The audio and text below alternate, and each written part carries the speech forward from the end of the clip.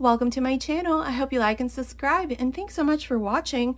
In today's tutorial, I'm going to show you how to crochet this little hat with a beautiful stitch pattern. It's super easy, so I hope you like it. Now, this little hat is for 0 to 3 months